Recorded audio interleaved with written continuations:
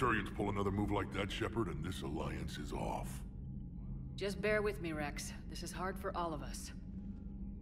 I've got Reapers on my planet, a bomb that almost blew up my planet, and if those two fail, the Genophage to make sure we all go extinct anyway.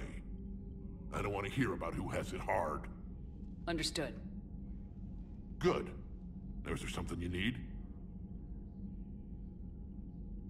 What's the situation back on Tuchanka? Well, it seems you've been there more than I have, Shepard. You tell me.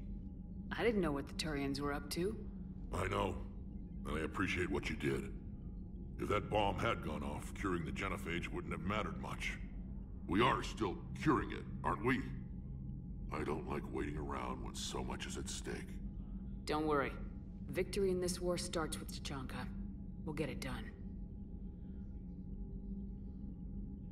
What will you do after the genophage is cured? Once we deal with the Reapers, most Krogan will want to settle a score with the Turians and Salarians. I won't let them. That isn't our path forward. This time will be different.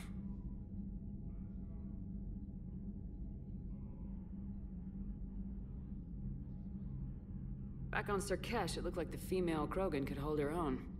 Our females don't lack for spirit. For males, a good show of force sorts things out.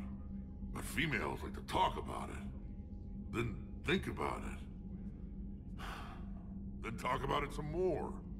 No offense. Believe it or not, we sometimes have good ideas, Wrex. You should try listening. Yeah, but our women have so many of them. So sometimes I pretend to listen and... Well, let's just say Krogan females have tempers too. That's it for now, Wrex. Let's get back to work. Anytime.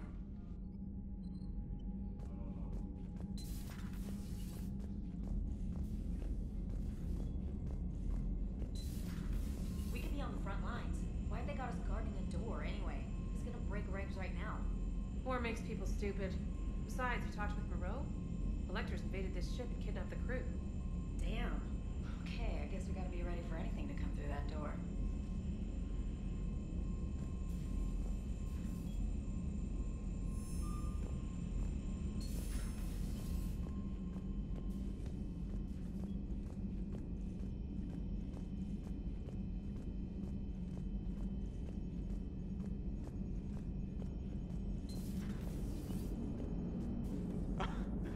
Here's another one. Uh, dates back to the Rachni Wars.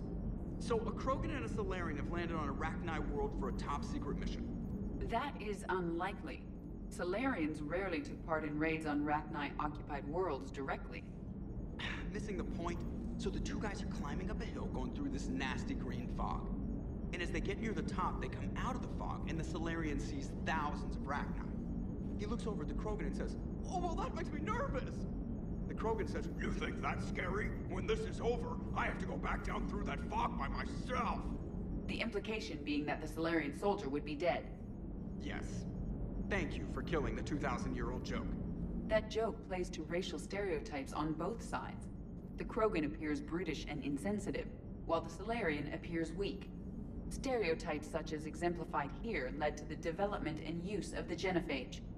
Well, well, yeah. It's also one of the only jokes you'll hear both Salarians and Krogan telling. Comedy isn't really about being nice. Sometimes it's a way to air out the ugly things people think.